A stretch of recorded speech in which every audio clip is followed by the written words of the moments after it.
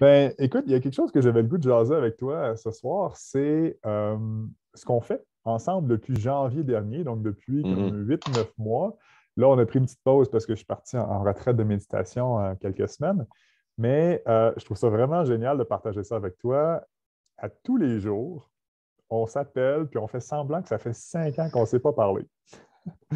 Mm-hmm, Pourquoi on fait ça? Est-ce qu'on est fou mongol ou. Mais moi, je pense pas parce que, écoute, plus on va parler souvent de ce qu'on veut. Puis ça, c'est honnêtement, c'est quelque chose que, que moi-même, tu sais, c'est fou, hein. Des, fois, tu peux lire la, sur ce sujet-là pendant des mois, des années. Pour dire la, la, mm-hmm. vérité, on dirait que tu essaies toujours de, toujours de chercher un secret. C'est quoi le secret? Mm-hmm. Mais il n'y en a pas. Puis je me suis rendu compte que j'ai beaucoup passé par-dessus, sans m'en rendre compte. Mais c'est juste contrôle tes pensées, man. Contrôle tes pensées. Puis je me suis rendu compte que oui, même avec l'exercice qu'on faisait, mais d'un, à certains moments, ça, ça m'angoissait. Puis je ne sais pas mm. pourquoi exactement. J'avais comme l'impression comme si je n'y croyais pas. Tu sais, je te, je, te, parlais, je, te contais ma vie future, mais c'était comme si c'était au-delà de moi. C'était comme mm. au-delà de mes croyances. En même temps, j'étais beaucoup dans la, recherche du comment que ça va arriver. Puis ça aussi, ça, me mm-hmm. faisait douter, ça me faisait angoisser. Mais au quotidien, c'est vraiment contrôler ses pensées. Puis je pense que mmh. l'exercice est super, mais après ça, il fallait comme faire chacun notre devoir de notre côté. Puis c'était au, quotidien, puis à toute heure, à tout moment, c'est de monitorer comment on se sent, comment on pense. Mais surtout comment on se sent, parce que si on se sent comme de la merde, mais ça veut peut-être dire qu'on a peut-être des pensées de merde. oui, pas, peut-être. ouais, c'est comme à nous d'en devenir conscient, puis de, ben, d'en être aware, d'être aware, c'est ça. Je, suis aware de comment je me sens en premier lieu. Puis à partir de là, je peux peut-être essayer de prendre des démarches, comme tu faisais hier, tu dansais sur ton balcon, des fois, tu chantais, tu faisais fou. Mais en faisant des affaires de même, comment je peux prendre le contrôle? Parce que si ça dure comme ça, mais il y a peut-être d'autres événements qui vont se produire dans ma vie. Je vais peut-être attirer d'autres des personnes qui vont, qui vont être en accord avec cette vibration-là, qui vont venir dans ma vie mm-hmm. pour me donner encore plus de ce sentiment de marde-là. Oui. Oui, puis ce que, ce que tu nommes là, c'est super important, je trouve, parce que ce que je vois énormément dans le monde du développement personnel et tout, ou de visualisation, et tout ça, c'est que les gens le font, mais si tu passes 5 ou 15 ou 30 minutes dans ta journée à faire ça, à, penser comme il faut, à méditer, puis tout, mais que le reste de la journée, tu le passes dans la peur, puis tu le passes, puis tu as un état de mal, comme tu dis, ce qui mhm. compte le plus, c'est l'état dans lequel tu passes la majorité de ton temps. Comme moi aujourd'hui, justement, moi j'ai été dans un super bel état parce que bon, j'ai commencé ma journée en méditant, j'allais faire mon jogging, tout ça. Mais j'ai eu quand même une, demi-heure, une heure de baisse d'énergie, puis même de doute, parce que, comme j'ai dit tantôt, c'est ça, j'ai arrêté ma business depuis deux mois, quatre, ça fait quatre mois, ça fait quatre mois que j'ai arrêté la business. Euh, et donc, je suis en train de redémarrer. il y a quand même une peur pour moi de ne pas avoir de revenus dans le moment. J'ai même engagé mon premier employé. Fait que là, je suis comme, oh fuck! Hmm. généralement, ça va bien, mais il y a des moments où est-ce que le doute embarque. je suis comme, fuck, ça va-tu marcher, tout ça et tout? Fait c'est ça. Mais, mais c'est pas grave parce qu'aujourd'hui, par exemple, ce, truc-là, ce doute-là a duré juste une demi-heure le reste de ma journée, j'étais dans, j'ai fait des belles conversations euh, enrichissantes avec des anciens clients, des, clients potentiels, tout ça. Avec toi maintenant, comme là, ça, c'est génial. Mais c'est ça. C'est, ce qui compte, c'est comment, dans quel état d'esprit tu passes la majorité de ta journée? Mmh, oui, exactement. C'est, exactement ça. Puis aussi, c'est, aussitôt que tu te sens mal, mais OK, je vais essayer de me remonter un peu, je vais essayer de me mm. sentir mieux. Peut-être une étape à la fois, juste, OK, je vais essayer de juste me sentir un peu mieux que comment je me sentais. Je vais pas essayer d'être dans l'extase immédiatement. Ça, là, c'est tellement important parce que pendant longtemps, moi, je visais justement cette perfection-là constamment, puis ça me faisait juste me renfoncer davantage parce que c'est tough, là, de, quand tu files pas bien, de te remettre dans l'état spectaculaire. Donc, je me sentais mal parce que je commence, je ne suis pas bon, je ne suis pas capable, je suis whatever. Donc là, à ce je fais comme non, OK, mon énergie est là, je vais la monter juste une petite coche de plus. Comment je fais ça? de me concentrer vraiment sur maintenant, qu'est-ce que je peux faire dans les cinq prochaines minutes, là, là, mm-hmm. Mm-hmm. Mais comme, comme, je me, je me suis senti, là, même pas cinq minutes, où est-ce que j'étais en tabarnak, je t'ai expliqué pourquoi, puis c'est sûr que de passer d'être vraiment en tabarnak, puis d'aller vraiment dans un état de d'extase, mais wow, il y avait une grande marge à franchir. Fait que là, tu vois, je me sens un peu mieux. De commencer ça, je me change les idées. Là, je me sens, je me sens un peu mieux. Mm-hmm. c'est vraiment d'y aller, puis à la fin, sûrement, je vais être en extase. Oui. Ben, quand la conversation embarque, tout ça, tu sais, moi, j'adore l'hypnose, j'en ai fait ma business pendant, pendant, le centre de ma business pendant un bout. Puis ce que tu décris là, ça me fait beaucoup penser à l'hypnose. C'est sur quoi tu focuses? Puis quand ma peur embarque par rapport aux revenus ou ces choses-là, je sens que c'est comme, je me, je me, sens hypnotisé par la peur. Puis là, c'est comme, il y a la peur qui est là, puis là, ça devient de plus en plus proche. Puis là, tu, vois juste ça, là, il y a comme juste... Fait que le but, c'est de remettre la distance à ça, puis de se comme, tu hmm. vois ça comme se détacher de la peur ou le truc que tu ne veux pas dans ta vie, n'importe, puis te déshypnotiser de ça pour te réhypnotiser ou te reconditionner dans soit rien, ce qui est l'idéal, ou dans quelque chose de positif. Mais tu n'as pas l'impression des fois que on peut penser à ce qu'on veut, mais finalement, on pense à ne pas l'avoir. Mettons, OK, je vais avoir tel char, mais finalement, tu regardes ta vie, puis oh, bon, petit char, je l'ai, blablabla. C'est comme si ah, tu oui. sur ce que tu veux, mais on dirait qu'en faisant ça, tu réenforces le manque dans ta vie. Oui, oui, oui, tout à fait. Mais ça, ça c'est super intéressant ce que tu dis là parce que effectivement, c'est un des dangers, je pense, du conditionnement aussi. Euh, puis même, on, l'a vu, ça c'est cool. depuis les 8-9 mois qu'on fait ça, notre exercice de faire semblant que ça fait 5 ans qu'on ne s'est pas parlé, puis là, on, se raconte notre vie. Mon, discours, ben, nos discours ont énormément évolué. Puis moi, ce que mm-hmm. je remarque, c'est que j'ai passé de, quelque chose de beaucoup plus matériel, de beaucoup plus mental, à quelque chose de beaucoup plus spirituel. Euh, je mm-hmm. suis plus dans qu'est-ce que je veux ressentir plutôt que ce que je veux avoir. Exactement. ça, c'est super mm-hmm. important parce que euh, ça, je le vois beaucoup, les gens qui veulent euh, faire de la visualisation, se conditionner, puis si tu te dis mentalement, j'ai confiance, j'ai confiance, j'ai confiance, mais ça reste des paroles verbales, l'effet est beaucoup, beaucoup moins important que si tu te fermes les yeux, puis là, tu fais juste en silence, ou peu importe, tu ressens la confiance. OK, la confiance, elle est où dans mon corps? Dans quel endroit? Elle a quelle forme, quelle couleur, quel peu importe. Puis, tu sais, ça, ça a beaucoup plus de pouvoir de ressentir les choses que, que de les nommer verbalement.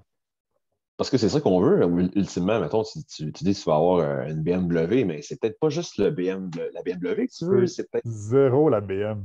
C'est ça, c'est peut-être te sentir d'une manière ben oui. spéciale. C'est ça que tu veux, ultimement. Tu veux te sentir comme un, vrai, un homme, un boss. Euh, c'est purement le feeling qu'on cherche. Puis, ça, Tony Robbins en parle. Puis, puis quand je sors de ma retraite de Vipassana, il en parle aussi. Probablement que ma plus grande dépendance de vie, c'est pas l'alcool, c'est pas la drogue, j'ai jamais eu de problème avec ça. C'est les voyages, mais c'est même pas les voyages non plus. C'est le feeling que les voyages m'apportent. C'est le mm-hmm. feeling de nouveauté, le feeling de liberté. C'est ça que je crave. Et que je crave mm. comme une dépendance, vraiment. Je me rends compte, c'est pas pour rien que j'ai eu une vie de autant de voyages, puis que c'est comme une espèce de compulsion que j'ai de je dois voyager. Je suis en Colombie d'ailleurs, pour ceux qui ne savent pas. Mhm. Euh, puis, c'est ça, mais c'est une compulsion. Puis je l'ai faite pendant 20 ans. Puis je me suis rendu récemment, il y a un an de ça, j'ai pris conscience que ce que j'ai poursuivi pendant 20 ans ne me donnait pas ce que je voulais. Ça ne me donne pas le bonheur que je cherche. Pas, de façon durable. oui, quand j'arrive dans un nouveau pays, je tripe une couple de semaines, une couple de mois, j'aime ça et tout. Mais, là, à ce temps que j'ai accompli ce rêve-là, que j'ai ma bestie, ce qui me permet de voyager comme je veux, je me rends compte que je ne suis pas plus heureux. Puis euh, j'ai eu des moments dans des endroits spectaculaires, des très beaux endroits, que je me sentais fucking déprimé. Puis ma conclusion suivante, c'était comme Ah, OK, ce que je veux finalement, ce n'est pas le voyage, c'est l'amour. Je veux trouver l'amour. Fait que là, je me suis mmh. dans les dernières, les dernières années, deux ans, j'ai mis plus d'efforts sur ça pour trouver quelqu'un, pour être en couple. Puis encore une fois, j'ai fait Ah, je cherche encore à l'extérieur de moi. Puis là, c'est nouveau. Là, depuis quelques mois, là, je sens que je cherche beaucoup plus à l'intérieur. Euh, et c'est ça qui m'a amené, entre autres, à faire Vipassana, puis à me défaire de ce feeling-là de craving. Mais tu sais, je pourrais être autant alcoolique ou dépendant à une drogue ou n'importe. Moi, ben, j'ai choisi, je n'ai pas choisi les, voyages, ça s'est fait comme ça, mais c'est la même affaire, même chose, même chose, même mm-hmm c'est la dépendance à un feeling extérieur.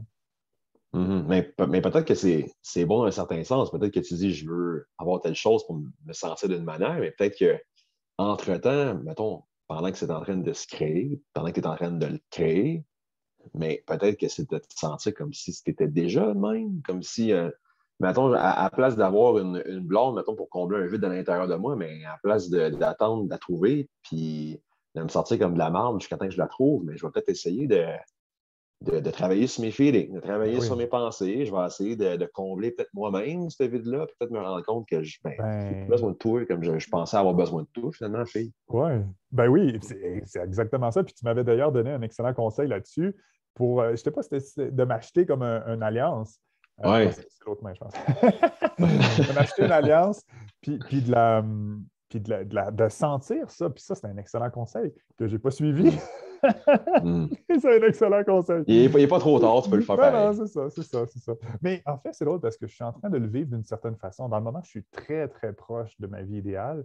Euh, tu sais, je suis dans une maison dans les montagnes en Colombie, j'ai la vue spectaculaire. J'ai mon coloc qui, a, qui, au départ, qui était mon prof d'espagnol, qui est devenu un ami, euh, qui est devenu mon employé, puis, que, puis qui a mm. vraiment une belle énergie. Tu sais, puis justement, il m'aide à me faire à me sentir, pas, pas en couple, mais en, en, union, comme d'avoir une belle synergie avec quelqu'un.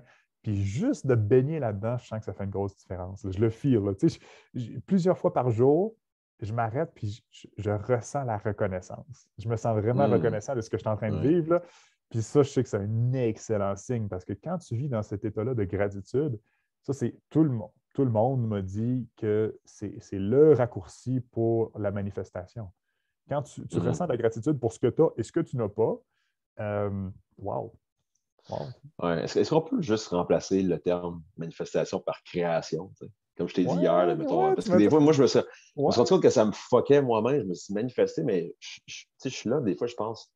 C'est comme si j'étais un, peu à l'état passif où est-ce que j'attends que quelque chose se manifeste, mais en réalité, on, est, on entre dans un processus de co-création avec l'univers. Puis moi-même, je vais être amené à faire des actions. Fait mieux peut-être dire création c'est fucking maintenant. J'adore ce que tu dis là parce que je trouve que ce que ça l'amène, peut-être qu'effectivement, il, y a une espèce de grosse euh, connotation de, distance ou de manifester, c'est dans le futur ou je ne sais pas. ou peut-être pas, monsieur, pour moi, en tout cas, mais créer, bah, quoi que créer, tu peux le voir aussi comme dans le futur, mais bon. Mais, mais j'aime cette idée-là. J'aime l'idée que ce soit, c'est maintenant. On est, on est en train de créer maintenant. Puis, mm-hmm. tu me rappelles, j'ai fait une conférence, ma je pense que c'est ma dernière conférence que j'ai donnée il y a deux ans de ça. Euh, j'avais zéro rien préparé. Rien préparé. Je me suis assis devant le monde, il y avait comme une cinquantaine de personnes et je me suis mis à parler, comme ça, comme on fait. Puis je me suis mis à parler de ce que j'avais envie de créer comme, conférence, sans avoir de conférence de, de, de, préétabli. D'ailleurs, par contre, ça, ce que j'ai fait là, je ne le conseille pas peut-être à quelqu'un qui débute. Moi, ça fait quand même quelques années que je donne des conférences. Mais, mm-hmm. mais ce, qui, est spécial, c'est que j'étais en train de nommer l'atmosphère que je voulais créer dans une conférence. Puis pendant que je le nommais, je me suis arrêté, surpris. J'ai fait fuck, je suis en train de le créer maintenant. J'ai écrit parce que en fait, j'ai sorti du rôle de conférencier, puis je créais un échange, je créais un espace, j'appelle ça des espaces de transformation, où est-ce que les gens mm. pouvaient s'exprimer, poser des questions et tout. Puis ça, c'était comme, wow, génial. Puis je n'avais pas planifié de faire ça, mais, c'était mon intention. Puis ça s'est juste mmh. manifesté soi-même. Ça s'est créé, c'est ça. Ça a été une co-création à, l'état pur, je dirais. Fait que oui, oui, j'aime mmh. beaucoup ce que tu dis là. Mmh. Dans tu disais que tu avais l'intention de, de, mettons, avant de faire ta conférence, tu avais l'intention que ça soit comme peut-être dans un, genre de flow, mais de créer ben la conférence que tu voulais. Oui. je savais qu'en n'étant pas préparé, ça allait donner du, pur moment présent, authentique à fond. Euh, je, ben, je, savais. J'avais peur pareil. J'avais quand même les, minutes avant, les semaines avant, ça allait. Je suis comme, ah, c'est une bonne idée. Oh, Dix minutes avant, j'étais comme tabarnak. Mm. J'ai quand même eu peur. Mais, euh, mais c'est ça, c'est super bien passé. Euh, puis, même, il y a eu, c'est drôle, il y a eu une fille qui est intervenue, qui était dans la première rangée, qui a posé une question. C'est une question, mais en même temps, c'était une espèce de confrontation. Là, elle n'était pas d'accord avec un truc que j'avais dit à propos de l'argent. Puis bon. Puis, puis j'ai dit, ben, tu as raison. Puis j'ai fait un silence. Puis après ça, j'ai embarqué comme sur le fait qu'elle avait raison, mais qu'il y avait d'autres façons de voir les choses et tout. Puis en tout cas, j'ai tellement amené ça d'une belle façon, puis moi-même, je me suis surpris moi-même. J'ai désamorcé son espèce de, colère cachée dans sa question. Puis il y en a plusieurs à la fin de la conférence qui m'ont dit Wow, la façon de hmm. gérer cette fille-là, cette question-là, wow. Moi-même, je me suis surpris, puis je pense que justement, c'est parce que j'avais créé cet environnement-là propice à l'ouverture, à l'échange. Il n'y avait pas de confrontation, de... puis il n'y avait pas d'enseignement, parce que ça, c'est classique. Les, gens, quand ils commencent à coacher ou à donner des conférences et tout, on s'impose souvent d'enseigner. C'est le modèle qu'on a connu à l'école. Il y a le prof mm-hmm. qui, a la connaissance, qui te transmet la connaissance. Alors que ce que j'aime beaucoup, moi, c'est plutôt que d'être au-dessus des gens, j'appelle ça me placer en dessous des gens, au service des gens. Et moi, je suis là, mm. mon rôle, ce n'est pas pour donner de la connaissance, ou c'est pour créer l'espace, créer l'environnement, pour faire émerger la sagesse qui est déjà dans la salle. Ça, j'aime ça, hmm. faire ça comme ça. Hmm. Wow! C'est ça qui est intéressant, c'est que tu ne donnes pas de sagesse, tu vas aider le monde à, à libérer la leur. Oui, exact. Moi, ma sagesse à moi, c'est justement de ne pas m'imposer comme celui qui sait tout, puis le conférencier. Parce que je pense que c'est un, un, peu ça notre, notre processus, c'est à force de, de lire là-dessus, à force d'écouter des, podcasts ou des, livres audio, à force même de participer à des séminaires, on se rend compte que c'est tout, tout est là pour nous, nous, aider à développer notre potentiel illimité. Ben Mais c'est à nous de le libérer. On ne s'ajoute à rien. On ne va rien acheter comme les expériences d'hallucinogènes qu'on a faites. C'est tu sais, mm-hmm. va, manger du moche. Ça ne va rien t'ajouter. Au contraire, ça va plutôt t'aider à te. Ça va t'enlever des affaires pour. Faire un miroir. Oui, ça va te libérer. Ça va t'aider à te libérer de, trucs. de... J'adore ce que tu dis parce que moi, je pense que c'est ça. Les meilleurs chamans, ils te donnent aucune réponse. Tu leur poses des questions, ils te reposent une autre question. Les mm-hmm. professeurs euh, Vipassana, dans la méditation que je viens de faire, même chose. Tu poses une question, tu dis Hey, je suis en train de vivre de la colère ou je ne sais pas, des pulsions sexuelles qui remontent et tout. Ils vont juste te dire C'est parfait, c'est bon signe, c'est normal, continue à méditer. Ils donnent fucking pas de réponse, là, c'est frustrant. Les mm-hmm. premières fois, tu sais, j'ai fait huit fois dix jours de retraite de méditation avec eux. Les deux premiers cours, je posais des questions à l'enseignant parce que je, capotais un peu. Puis tu, sais, tu médites, puis j'avais le goût de prendre mon petit banc de méditation puis de coller une volée au gars à côté de moi. Shit, je suis en train de méditer, puis il y a toute cette rage-là enfouie, inconsciente, que je ne savais pas qu'il était là, puis qui est en train d'émerger à la surface. Bon. J'allais voir le prof pour poser des questions. Mais après mon deuxième cours, j'ai pris conscience que, OK, non, ça ne sert à rien. La seule chose que je dois faire, c'est de me ramener à moi-même, de continuer et tout. C'est ça, c'est ça la clé. Euh, une des raisons pour lesquelles je t'aime autant, c'est que je trouve que tu es un excellent miroir. Donc, tu me reflètes ça, comme d'une façon plus, plus précise, peut-être plus exacte que, d'autres gens. Moi, je trouve que les meilleurs coachs, c'est ça, c'est les, miroirs, j'appelle ça des, miroirs euh, les meilleurs miroirs. Il y a les miroirs déformants. Quelqu'un qui ne se connaît pas, c'est un miroir déformant. Fait que tu te regardes, puis tu vas te voir, il va te répondre par ses propres filtres, ses croyances mmh. Quelqu'un qui est un bon coach ou quelqu'un, un bon chaman ou peu importe, quelqu'un qui se connaît énormément, il va t'offrir un miroir beaucoup plus, euh, une image beaucoup plus parfaite. Donc, tu peux te voir toi-même de façon beaucoup plus parfaite. Puis quand tu as nommé tantôt les psychotropes, c'est ça que ça fait. Toutes ces choses-là, ça te ramène un miroir à toi-même pour que tu puisses prendre conscience de toi avec toi, plutôt qu'à travers les yeux des autres. Oui, mais c'est comme poser une question. Mais, peut-être que c'est ça le, secret des, des questions qu'on va te reposer. À place de donner une réponse, mettons, ah, mais comment ça se fait que la fille me, dit telle affaire, qu'est-ce que je posais faire? Mais t'en as un qui va te répondre, mais c'est une petite vache, c'est une chienne, vas-y, fais ça, blablabla. Mais t'en as un autre qui va dire, ben non, fais ça, fais ça de même, prenez pas personnel, ça va bien aller. Euh, la mère des filles n'est pas morte, en a plein des filles. Ouais. Fait que t'as comme en place d'y aller avec une réponse comme ça, mais je vais plutôt te lancer une question pour peut-être que tu peux s'en venir à tes propres réponses. Mm-hmm. Mm-hmm. Absolument. C'est la réponse la plus frustrante, c'est de ne pas recevoir de réponse, puis en même temps, c'est celle qui, fait le, plus cheminer. Fait que, oui. Mm. Ouais. Puis, puis tu sais, même justement, j'aime ça, les, retraites, encore, je reviens là-dessus parce que j'en ressors, ça fait six semaines que je suis là-dedans. Mais justement, le fait que tu sois en silence, euh, ça permet beaucoup de se ramener à soi-même. Parce que euh, quand, tu, quand tu vas poser des questions puis discuter à tout le monde et tout, euh, tu n'es pas en train de te ramener à toi-même. C'est moins, moins les bonnes réponses. C'est moins les réponses que tu as besoin, selon, selon moi. Mais peut-être que les réponses ne vont pas, euh, vont pas arriver tout de suite et que ça va prendre un. peut-être vont arriver dans deux jours, une semaine ou un mois. Ou même, moi, ce que j'adore de plus en plus dans ma vie, c'est de ne pas avoir de réponse. Puis, puis justement, le mental veut savoir, le mental veut des certitudes, il, veut, il veut des réponses, il veut de la clarté. Euh, plus j'apprends à vivre dans l'incertitude, euh, plus j'apprends à vivre sans les étiquettes, sans savoir, plus que ça me ramène à mon ressenti, à mon intuition, puis hmm. j'aime beaucoup ça. Ça permet de sortir des cases, tu sais. Comme moi, est-ce que je suis gay ou est-ce que je suis hétéro? Je suis un peu entre les deux.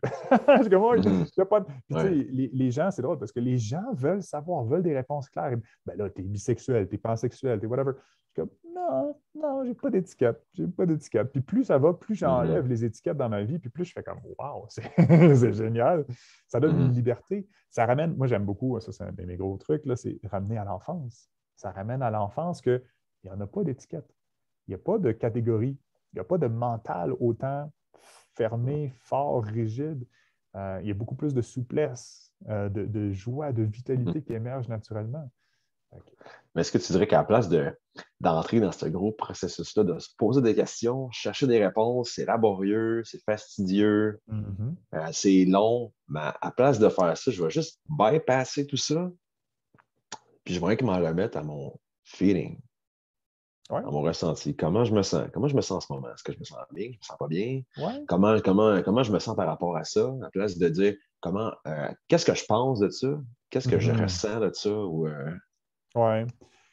Ben, je pense qu'il y a quand même un, grand bénéfice à l'équilibre des deux.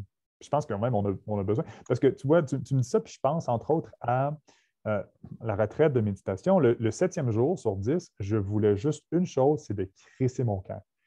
Puis, est-ce que, bon, à ce moment-là, est-ce que c'était mon feeling ou c'était mes pensées? Je ne sais pas. Mais, mais je te dirais que rationnellement, même si j'avais le goût de partir, j'ai choisi de rester et ça, ça m'a rendu service énormément parce que le lendemain, paf, ça a débloqué et tout. Mais comment tu te sentais quand c'est arrivé? Comment tu quand oh my God. Je me sentais, c'est spécial parce que je me sentais prisonnier. C'est comme si je conscientisais plus que jamais auparavant la prison mentale. Je me sentais comme étouffé alors que j'étais dans mon lit, la journée venait de terminer, j'étais dans mon lit complètement libre. Puis j'avais le droit de sortir de. Tu sais, c'est pas une prison, cette retraite-là. J'ai le droit de sortir quand je veux. Puis je savais rationnellement que j'avais le droit de sortir. Puis j'ai failli le faire. Je, me donnais, je voulais vraiment me donner le droit de le faire. Mais je savais qu'il y avait un bénéfice à rester. Et effectivement, je sens que le lendemain, ben, c'était clair pour moi que j'ai traversé une résistance très forte. Euh, je, résiste beaucoup à m'engager. Euh, je sens ça dans ma vie par rapport à ma business, par rapport à, ben, par rapport à un endroit géographique. Tu sais, je voyage beaucoup, puis justement, après quelques mois, j'ai besoin de bouger. Puis il y a un grand bénéfice, je pense, à s'engager, à s'ancrer quelque part, s'ancrer en soi-même. Puis c'est hmm. beaucoup ça que j'ai travaillé ce, jour-là. Puis ça, me fascine parce que pendant une semaine qui a suivi, méditer était tellement plus facile, ça se faisait tout seul, tout seul. Je m'assoyais, puis je restais là plus longtemps que les profs. Fait que, j'ai vraiment traversé une résistance euh, qui je vais voir, mais je sens qu'il va beaucoup m'aider dans ma business aussi, plutôt que, j'ai beaucoup travaillé euh, trois mois, six mois, puis j'arrête trois mois, puis je, repars, puis, de repartir la roue à chaque fois, ça demande beaucoup d'énergie. Fait que je sens que je, suis en train de changer les choses de façon que je fonctionne. Je vais quand même prendre des pauses, mais peut-être avoir des amis qui vont coacher à ma place plutôt que de tout arrêter mes activités. Fait que changer des choses comme ça. Fait que, hmm. Hmm. OK. Mais ça, tu me fais me penser, je t'avais parlé d'une technique de, tapping que, j'ai appris. Euh, oui. Le start field therapy. quand tu te sens mal, mais il y a un pattern qui s'opère dans ton corps, mais comment tu peux interrompre le pattern, comment tu peux le détruire? Ben, avec un trois minutes de, de tapping. Puis je trouve que depuis que je fais ça, ça, honnêtement, ça a vraiment, vraiment changé mon sommeil. De un, je peux, ben là, je peux pas te montrer la preuve parce que mon téléphone, je m'en sers pour webcam, mais je te l'aurais montré. Là. Tu sais que c'est marqué, genre, j'ai sur, euh, je suis dans les 99% genre, euh, ça. Mm-hmm. Mais dans le top des tops, là, euh, en mm-hmm. tout cas, ceux-là mm-hmm. qui ont l'appareil pour mesurer leur sommeil. Ouais, ouais, ouais. Dans le top des tops pour la qualité de sommeil. Puis c'est quelque chose que j'avais, que j'avais, en fait, que j'avais jamais eu. Mm-hmm. Puis là, ça vient de manière récurrente. Fait que je suis comme, oh my mm. God, OK. Fait que mm. peut-être que je, je, vais détruire un pattern. Mettons, comme tantôt, ça aurait été une belle occasion de le faire. J'étais vraiment en fru, j'étais vraiment en crise. Mm-hmm. J'aurais pu faire du tapping là, je ne l'ai pas fait. Mais à chaque fois que je me sens mal par rapport à quelque chose, mais là, c'est une invitation pour moi de le faire. Mais je ne voyais pas à quel point ça peut avoir d'autres impacts dans d'autres facettes de ma vie, même que je me, je me suis rendu compte que je parlais beaucoup plus. Euh, naturellement deep. Avant, il fallait comme je me force un peu. Là, je parle plus deep, plus profond. Euh, je parle plus fort aussi. Mm-hmm. même que je travaille dans un bar, puis je me suis rendu compte que c'est beaucoup plus facile. La voix est beaucoup plus portante. Je, peux, je peux parler à quelqu'un à l'autre bord du bar, la musique euh, dans le tapis, puis la personne va m'entendre. C'était assez, assez spécial. Je ne voyais pas à quel point ça pouvait avoir de l'impact. Ouais. Comme ça. C'est pas grand-chose, mais pourtant, c'est euh, juste si c'est juste ça, mais je imagine qu'est-ce qu'elle peut apporter d'autre. C'est relatif, hein? c'est pas grand-chose, puis c'est énorme en même temps, moi, je trouve. Moi, je vois la différence flagrante. Quand tu parles, je te sens beaucoup plus présent, comme si tu étais plus incarné. C'est ça le feeling. Hmm. ça, ça me fascine, ces choses-là, parce que moi, justement, euh, quand je, me souviens, j'avais, je sais pas, 15 ans ou ado. Là, juste, juste pour te dire, excuse-moi de t'interrompre, Martin, mais c'est quand même parlé à tous les jours pendant les huit derniers mois. Oui. Tu peux le savoir. Oui, ben oui, c'est ça. Ah oui, non, je le vois. je le vois, le changement. C'est flagrant. Puis je trouve ça vraiment cool parce que je te sens plus, là, plus bien, je te sens bien, je te sens mm. présent, incarné. Puis, puis ça me fascine parce que tu peux avoir deux êtres humains côte à côte qui sont là en chair, mais un qui est complètement présent, qui dégage, qui est magnétique, charismatique, puis l'autre qui est complètement invisible, puis qui n'est pas du tout incarné. Puis ça, à mon adolescence, c'est ça, comme quand j'avais 15 ans à peu près dans ces coins-là, ah ben, tu vois, 15 ans, c'est l'époque que je pensais au suicide. Fait qu'une belle façon de s'effacer, c'est justement c'est de disparaître, mm. c'est de se suicider.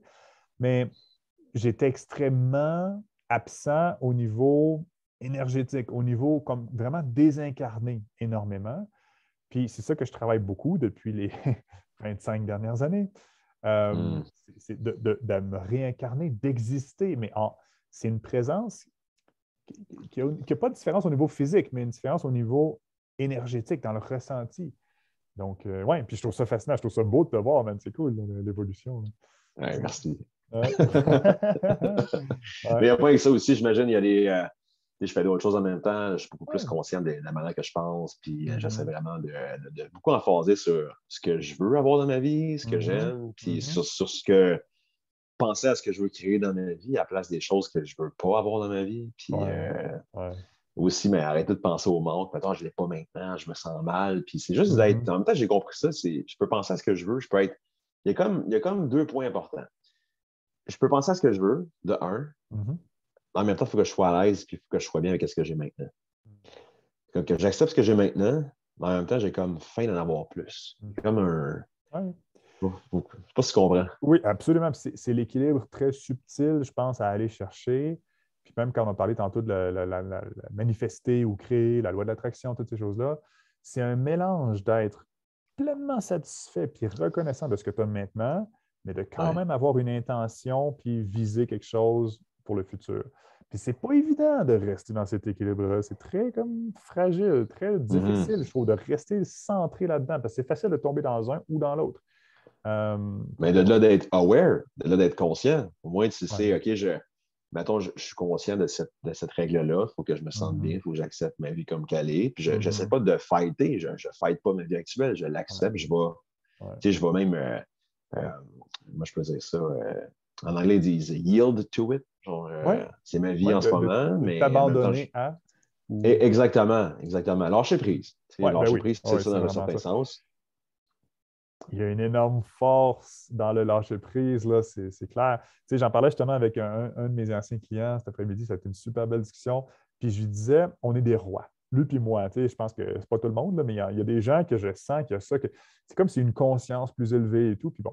Puis je disais, le problème, c'est que quand tu le ressens, tu veux aller vers ça, tu, veux être un leader, tu veux, mais si tu vas le faire, le, provoquer le manifester consciemment et que ça accroche, puis ça fait ah, ça appartient comme de l'ego.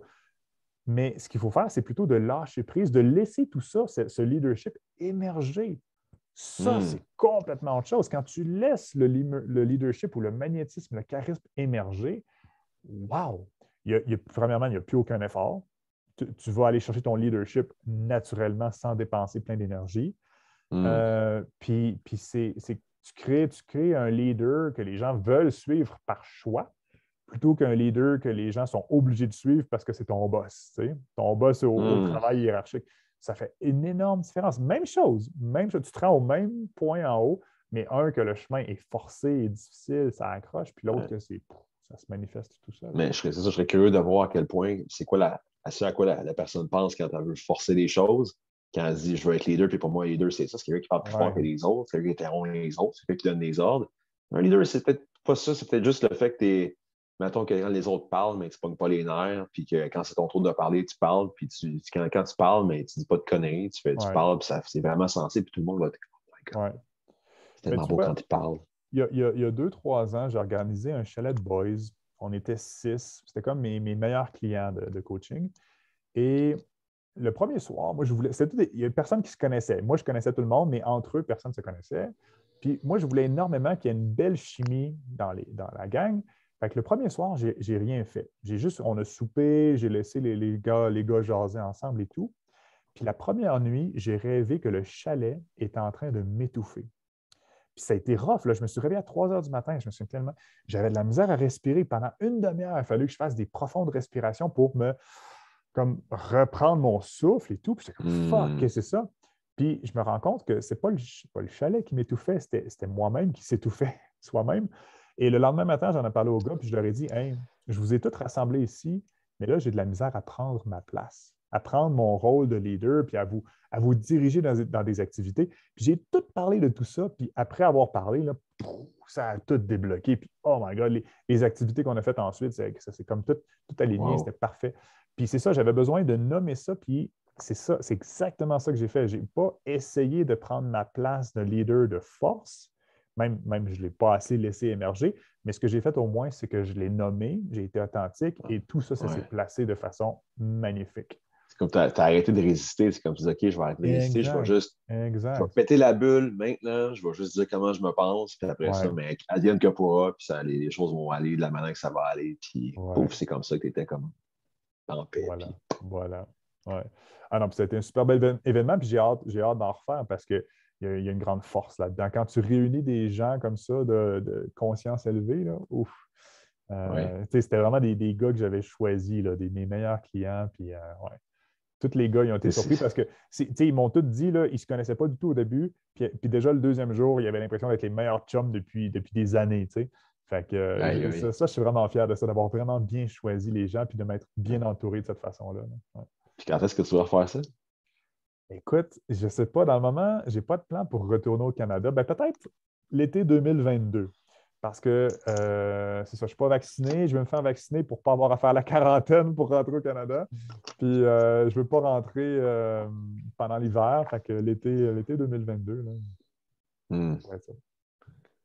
C'est comme si en étant réunis ensemble, c'est comme un place d'être un cerveau, c'est comme un former un méga cerveau. Ben oui, ben écoute, ce que, ce que je fais maintenant, c'est des masterminds, justement, où est-ce que oui, je fais du coaching, mais je laisse beaucoup les autres se coacher entre eux. Puis comme je disais avec les conférences, je crée beaucoup cet environnement-là pour que les gens puissent, euh, c'est ça, que la sagesse émerge d'elle-même. Puis souvent, il y a des gars qui vont dire des affaires, des, conseils à d'autres, puis je suis comme, wow, shit, j'aurais jamais pensé à ça et tout. Puis c'est ça mon rôle, tu sais, je veux vraiment pas être le hmm. seul qui fait du coaching. Là. Wow, mais c'est peut-être ça aussi, ce, qui pourrait être vraiment, vraiment, vraiment ta force. C'est à la place de coacher le monde one-on-one, mais justement, tu donnes la chance de se coacher eux-mêmes, de coacher les autres. Je pense que c'est comme ça que le coaching pourrait être vraiment plus solide. C'est comme quand, maintenant, tu dis, t'es juste, le, es juste le Yoda. Ouais. Arrive avec une question, toi, tu dis, tu lances une autre question. La personne repart, OK, elle repart, puis elle essaie de trouver ses propres réponses. Oui, absolument. Mais moi, je pense que le leadership, ce n'est pas une pyramide, ça doit être, c'est un, cercle. Puis moi, mon rôle, comme je dis, hmm. c'est vraiment, moi, c'est d'équilibrer les. Moi, je vois mon rôle comme celui qui équilibre les forces. S'il y a quelqu'un qui parle moins, on va aller, on va revenir le chercher, on va le ramener. Quelqu'un qui parle trop, ah, on va l'encadrer un peu plus pour que tout le monde ait un certain équilibre. Puis ça, il y a une... En fait, j'adore ça. Ce que je fais avec les groupes comme ça, j'équilibre l'énergie. J'équilibre l'énergie et quand toute l'énergie est équilibrée, ça crée une espèce de synergie de fou et, ça crée de la transformation. Euh, j'avais déjà fait euh, l'exercice d'ailleurs avec un ami il y a plusieurs années. C'est quoi, quoi ma, mission, mettons, la mission de mon entreprise? Puis ce qui avait ressorti, c'est je crée des espaces de transformation. Puis ça me parle énormément, cette expression-là, parce que c'est ça que je fais. Je crée des espaces où est-ce que les gens sont libres de parler, vont confier des choses qu'ils n'ont jamais dit à personne, mais pas parce qu'ils sont forcés ou qu'ils ont besoin ou qu'on leur a demandé, c'est juste que ça émerge naturellement. Les gens vont libérer des, souffrances, des blocages, des whatever, parce que l'environnement est propice et sécuritaire à ça. Mhm. Mais je pense que c'est ça aussi ton mastermind, c'est que les gens ils se sentent, oui, ils se sentent en sécurité. Il y a d'autres mondes qui sont dans le même processus que moi. On est tous en boys ou bien en, girls. Puis on, on, libère notre bagage, mais en même temps, le fait d'être ensemble comme ça, puis d'avoir une intention commune, ben, peut-être que ça nous permet d'avoir accès à des. avoir le, canal est plus fort pour avoir des réponses à nos questions. Mhm, mhm. Peut-être. Oui, peut-être. Tout à fait. Absolument. Oui, mais je pense qu'il y a un grand pouvoir dans le groupe puis dans un, comme je dit, un leadership naturel qui va émerger de lui-même, euh, qui n'est pas imposé, puis qui n'a pas des hiérarchies fortes. Hmm. Yeah. Quelle belle sagesse qu'on partage. Wow! Ben, c'est fou, man. Ouais. C'est fou. Ouais, ouais. Tu sais, je voyais que je voyais que la, quand on parlait, ça peut aller tellement dans n'importe quel sens, ça aurait pu aller là, ça aurait pu aller là. Peut-être que. Peut-être ben, peut que si tu donnais une ligne directrice, genre la prochaine fois, peut-être dire OK, le sujet d'aujourd'hui, ça va être ça, peut-être que c'est peut-être trop euh, encadré. Oui, ben, en fait, non, non, mais je suis d'accord avec toi. J'aime, mais il y a encore plein de choses que je veux dire. C'est drôle, tu m'as pris un peu par surprise la façon que tu as commencé. Je suis comme, wow, OK, c'est parti, ben go, on y va. mais c'est cool, j'adore ça parce que c'est ça que je veux faire. Je veux créer quelque chose d'informel. Qui, qui ben, en fait, on vient de jaser là comme on jase à tous les jours. que, que, ce soit enregistré ou pas. Euh. oui, mais c'est comme un, c'est un truc que j'ai poigné. C'est euh, dans, un livre, le gars, il disait OK, si tu veux être créatif, mais toi, tu penses qu'il faut que tu ailles t'attendre le bon moment, tu penses qu'il faut que tu ailles prendre un bain, puis il faut que tu sois relax, puis il faut t'attendre que l'inspiration arrive. Mais non, fais juste prendre un papier, fais juste prendre un papier, là, puis fais, prends ton crayon, là, puis ah fais n'importe quoi. Fais juste un dessin, fais juste, juste pour te mettre dans la motion de d'écrire. Ouais. Fais un dessin, fais un bonhomme, fais un tic-tac-toe, puis là, tout d'un coup, écris un mot, puis là, t'es parti. Tout seul. Absolument. Mais le, fait de se lancer à fret de même, je trouve que c'est le meilleur moyen de le faire. Ben si on était là, ben à quoi qu'on va parler? je sais pas. Je ne suis pas prêt. Ça me, ça me, prend un troisième verre d'eau, honnêtement. Oui, oui, non, c'est ça. Pas encore Absolument. Moi, écoute, je pense que c'est peut-être une de mes grandes, plus grandes forces de coaching, c'est de mettre les gens en action. Moi-même, de prendre action et de mettre les gens en action. J'adore ça. Euh, j'aime beaucoup quand Tony Robbins il dit euh, euh, Stay in your head, you're dead. tant que tu restes dans tes pensées, tu es mort. c'est comme mets-toi en action, mm. peu importe, fais, plein d'erreurs, fais n'importe quoi, mais mets-toi en action. Hein. C'est comme quand, mettons, on parlait tantôt du comment, que, comme je te disais qu'on mm-hmm. faisait nos, appels, puis que tout d'un coup, je me mettais à penser à comment ça va arriver, mais je n'étais pas capable de le concevoir, ça m'angoissait. Je suis comme, ben comment ça va arriver? Ah, ok, finalement, c'est impossible. je mets ça de côté. non, c'est pas. Tu sais, j'ai appris, c'est vraiment, encore une fois, c'est subtil. On veut se lancer dans un projet, la première affaire qu'on va faire, mais comment c'est possible? Comment je vais faire ça? Blablabla, j'ai assez d'argent? J'ai assez? Non. C'est juste comme tu n'as pas d'intention. Tu as l'intention de le faire. Tu sais pas comment, mais c'est normal parce que c'est au-delà de, ce que tu es capable de voir pour l'instant. C'est aussi en dehors de ton radar pour l'instant. Fais juste mm. avoir l'intention de le faire. Oui.